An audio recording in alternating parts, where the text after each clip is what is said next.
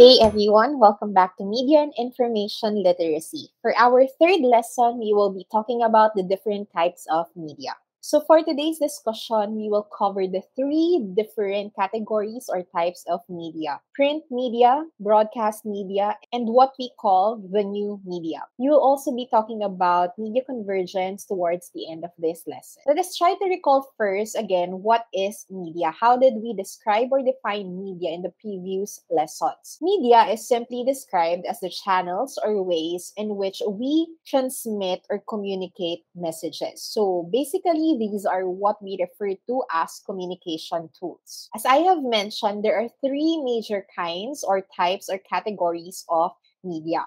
There is print media, the second one is broadcast media, and the third one is what we refer to as new media. Let us first discuss what print media is. It is described as simply a kind of media or a category of media that is consisting of paper and ink. More often than not, this type of media is reproduced in a printing process that is traditionally mechanical in nature. There are two major kinds of print media. The first one is what we refer to as text media.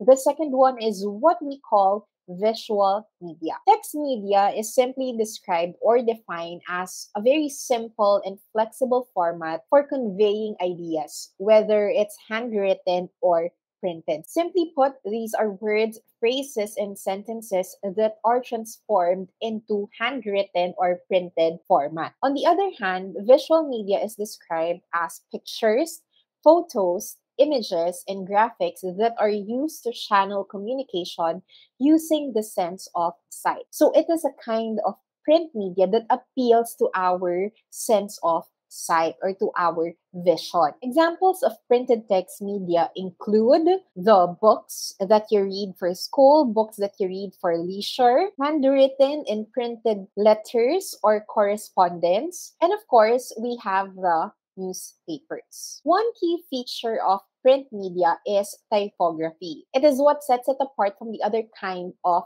print media. So, what is typography? Basically, this term refers to the art and technique of arranging the visual component of the written word. Now, you are probably wondering what is the visual component of the written word? Basically, you would notice that whenever you write, words are composed of letters, and those letters are simply composed of lines. So, those lines are the visual component. Now, these lines forming letters, forming words, and forming sentences even could be illustrated differently. Typography also features textual designs with optical illusions that helps improve the readability of the text and also aids in conveying the meaning of the printed text media. Moving on, here are some examples of printed visual media. So take for example the illustrations, web illustrations that you could see or editorial cartoons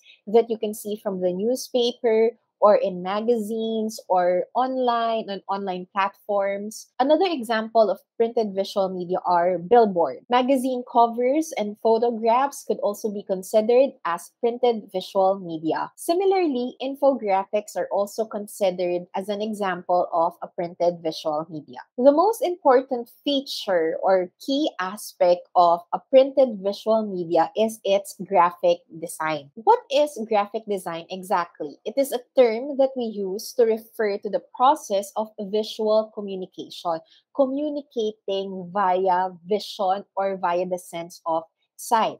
Now, this process is the one responsible for organizing and presenting information creatively for a particular purpose. Graphic design could titillate the mind, could entertain people, could inform, persuade, argue a particular issue, inspire others, and so on and so. Forth. But perhaps the most important thing that you have to remember when using graphic design is that it should be aligned with the intention or with your intended message. Another type of media is broadcast media. Broadcast media is simply the kind of media that reaches target audiences using airwaves as the transmission medium. So basically, when we say broadcast media, we often attribute it to radio and television. And that is actually correct. Here are some kinds of broadcast media. We have the audio media, and multimedia. Audio media is simply described as a kind of broadcast media that uses audio or voice recording as a medium in the delivery of information to appeal to the auditory sense. If a while ago printed visual media appeals to the sense of sight, broadcast audio media, on the other hand, appeals to your sense of hearing. Simply put, it is something that you hear or listen to. Broadcasted multimedia, on the other hand, is more concerned with computer controlled integration of different media types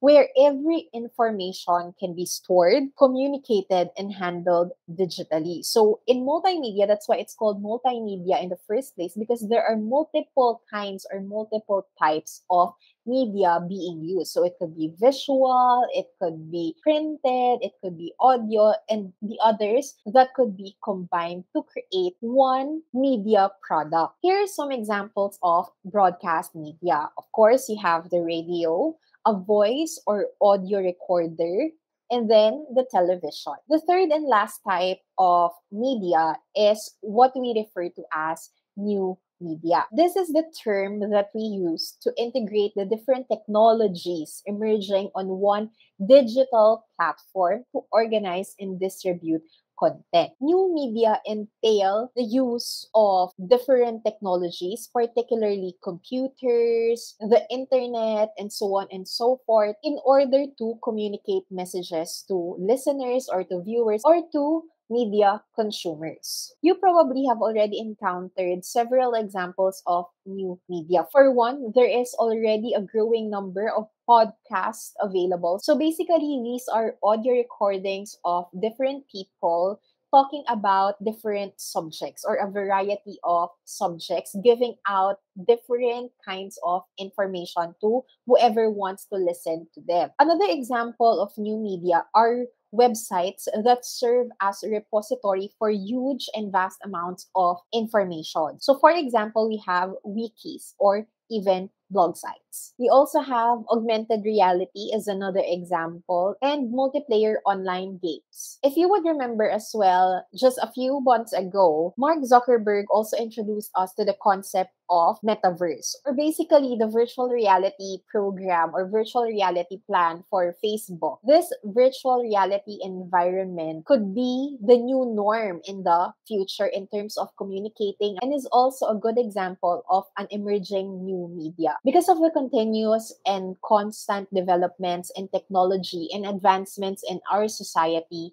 coupled, of course, with the dynamic nature of communication, it is inevitable that the different kinds of media may merge or converge and produce one new form of media. This is now what we call media convergence. Media convergence is simply defined or described as the merging of different equipment and tools for producing and distributing news or information through digitization and computer networking. This phenomenon allows media to be produced and distributed on multiple devices as well. This is also what we call technological convergence, a combination, the merging of technology. It is important to note, however, that media convergence only occurs when communication, content, and computing merges into one. When these three processes overlap one another,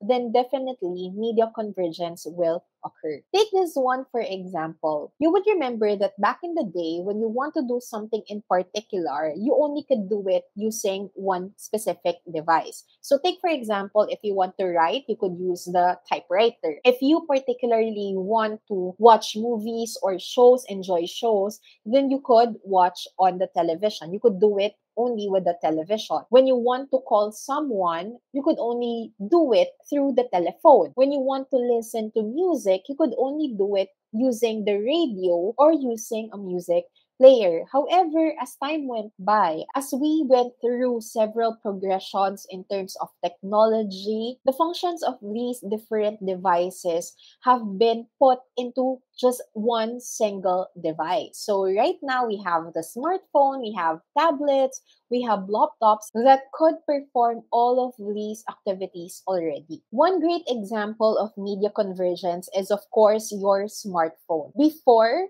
when you have a cell phone or a cellular phone, you could only do texting or calling. But right now, with your smartphones, you could play games, you could watch shows, you could browse the internet, you could still send messages and call someone, but you could also still use it as your map, as a camera, or even as an audio or listening device. Here are some other examples of media convergence in different fields. If we're going to look at it for one, in the field of communication, social networking sites such as Facebook, Instagram, etc. are already considered a product of media convergence because in Facebook and Instagram, you could do several other things. You could message other people, you could connect with other people, you could share information, you could share pictures, you could share videos, you could share updates, etc. In the field of education, one example of media convergence is is the rise of learning management systems. Some specific examples of